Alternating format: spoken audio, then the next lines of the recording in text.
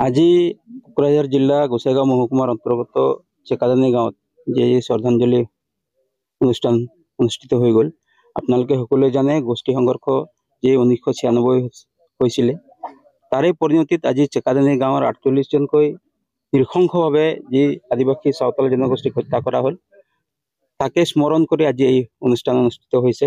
এইখিনি সময়ত মই এইখিনি চৰকাৰক আহ্বান জনাব বিচাৰিছোঁ আজি ইয়াত চেকাদানী গাঁৱত আহি উপস্থিত হৈ আৱেগিক হৈ গৈছোঁ দেখিছোঁ ইয়াত উন্নতি কেনেকৈ হৈছে মানুহৰ স্বাস্থ্যৰ অৱস্থা ৰাস্তা ঘাটৰ অৱস্থা বিজুলীৰ অৱস্থা খুবেই চিন্তনীয়। তাৰ কাৰণে আমি অসম চৰকাৰ আৰু ব্ৰিটিছ চৰকাৰক আহ্বান জনাইছোঁ যে চৰকাৰ বাৰম্বাৰ পৰিৱৰ্তন হোৱাৰ পিছত পঁচিছ পঁচিছ বছৰ উকলি যোৱাৰ পিছত আজি পৰ্যন্ত ইয়াত শোষিত হৈ থকা নিৰ্যাতিত হৈ থকা এই জনগোষ্ঠীয়ে চৰকাৰৰ অধিকাৰটো বাদেই দিয়ক আঁচনিখিনি পাবলৈ সক্ষম হোৱা নাই।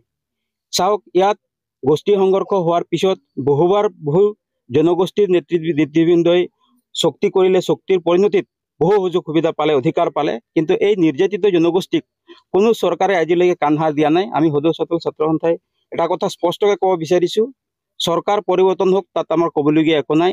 যি জনগোষ্ঠী শোষিত হৈছে নিৰ্যাতিত হৈছে তাক আপোনালোকে ৰাজনীতিৰ আহুৱা হিচাপে ব্যৱহাৰ নকৰি জনগোষ্ঠীটো উন্নয়নৰ ক্ষেত্ৰত ছাতিৰত কাম কৰিব লাগে।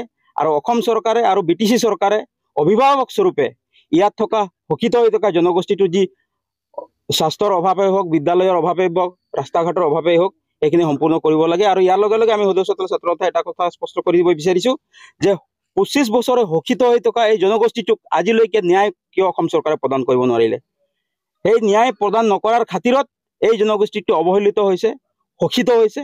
আৰু আমি স্পষ্টভাৱে ক'ব পাৰিছোঁ যে অনাগত দিনত এই জনগোষ্ঠীয়ে নিজৰ অধিকাৰ আৰু প্ৰাপ্যৰ পৰা যে বঞ্চিত হ'ব সেই কথা স্পষ্ট।